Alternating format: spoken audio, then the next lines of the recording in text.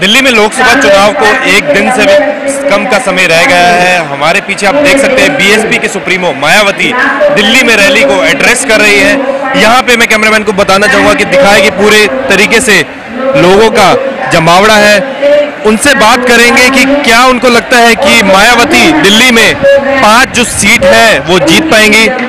Ma'am आपसे जानना चाहेंगे कि पाँच सीटों पे मायावती लड़ रही है। आपको क्या लगता है कि बीएसपी मायावती या दिल्ली में आ पाएगी हाँ आएँगे जी आएँगे जी आ पाएँगे आप दिल्ली से ही हैं? हाँ जी दिल्ली से हैं। किन मुद्दों को लेके आप इलेक्शन 12 तारीख को है वोट करने वाले हैं? मुद्दे तो यही है कि मतलब जो मोदी जो झूठ बोलते हैं जो तो उन्हीं की वजह से है।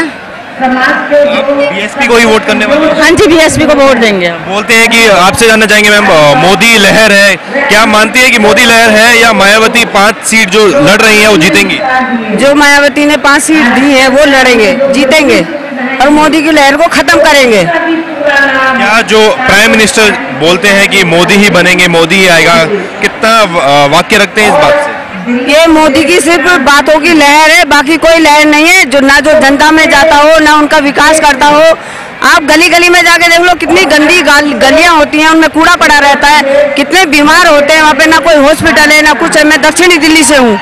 ये बोलते हैं कि मोदी गवर्नमेंट दलित समाज को नजरअंदाज कर रहा है। कितना इसके बारे में क्या बिल्कुल बिल्कुल नजरअंदाज कर रहा है। ना तो कोई उनको नौकरी दे रहा है ना उनके बारे में कोई सोच रहा है। और जैसे बोलते हैं कि घर मकान दे रहे हैं, सब कुछ नहीं है, सब दिखा हुआ है जैसे आपने देखा, महिलाओं का कहीं ना कहीं पूरा सपोर्ट मायावती को है और कहना है कि बीजेपी से काफ़ी निराश है जो दलित समाज को उन्होंने इग्नोर किया है।